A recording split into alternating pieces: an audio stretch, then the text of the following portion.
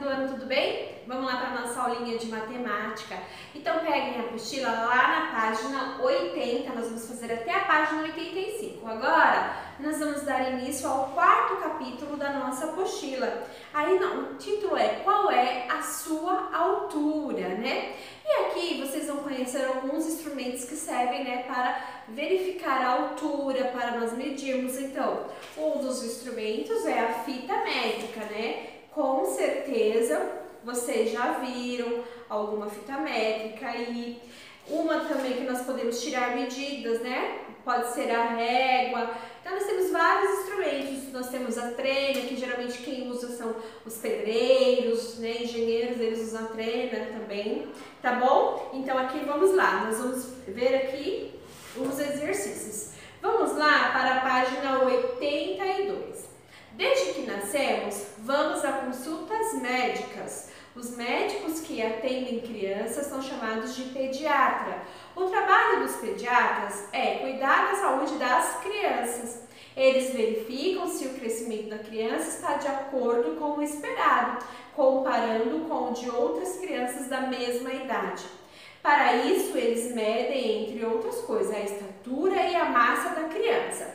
Quando ele fala massa, é o peso nosso mesmo, tá? Colocar a criança na balança, eles vão medir a altura, vão pegar a fita métrica, vão ver, né, conforme, como que a criança está evoluindo e corporal são os quilos, né, quanto a criança está engordando, se a criança emagreceu, se está na faixa, se está exato, tá bom?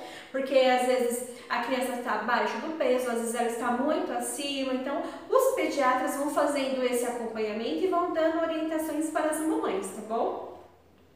Aí vamos lá, ó. no Brasil, a estatura de uma criança costuma ser medida em metros ou centímetros. A massa costuma ser medida em quilograma, aí tem a sigla que é KG, tá bom? Você já conhecia essas palavras? Em que situações vocês as ouviu e compartilhe suas experiências. Então vocês vão colocar aqui, tá? Em que outras situações você acha necessário medir a estatura ou a massa de pessoas ou objetos, tá bom? O que, que vocês acham? Né? Pode ser em construção, na, na confecção de roupa. Por exemplo, uma costureira está costurando uma roupa, ela tem que tirar né, as medidas para fazer a roupa do tamanho certo, né? Para dar certinho para aquela pessoa. Nas construções também tem que ter medidas, então eles vão usar um outro tipo de instrumento que é a trena, que é o plumo, né? Então tem várias aí formas de medidas, tá bom? Aí temos aqui, ó, medida de crescimento, tá? Como nós crescemos. Aí vocês vão lá. O doutor tá falando, ó, você mede 122 centímetros. Você mede 1 metro e 22 centímetros, tá bom? Então aqui, ó, nós temos um metro, uma fita métrica, ela tem um metro. E dentro desse um metro cabem 100 centímetros, tá bom? Centímetros, vocês pegando aí, vocês vão ver, ó. Por exemplo, dessa pontinha, aonde está essa marca maior, que é o número 1, eu tenho um centímetro. Daqui até o 2 eu tenho mais um centímetro e assim nós vamos contando os centímetros, tá bom? Então você sabe qual é a sua altura? Então coloque aí a sua altura, peça para a mamãe tirar a sua altura e você vai preencher aqui no espaço o exercício número 1, um, tá bom? Aí depois nós vamos para o exercício número 2. Carolina foi ao pediatra algumas vezes nos últimos três anos. Ela, não, ela fez uma tabela. Então, lá, com a idade de 6, 7, 8 anos e a altura em cada idade que ela tinha, tá bom? Aí, observe a tabela e responde ao que se pede. Quantos centímetros Carolina cresceu de 6 para 7 anos de idade?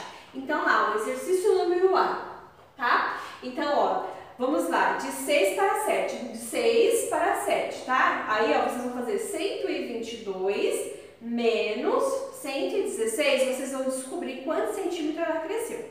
Aí, no exercício B, vocês vão fazer a mesma coisa, tá? Quantos centímetros Carolina cresceu de 7 para 8 anos? Olha a tabela. Aí vocês vão fazer 127 menos 122, vão descobrir o resultado.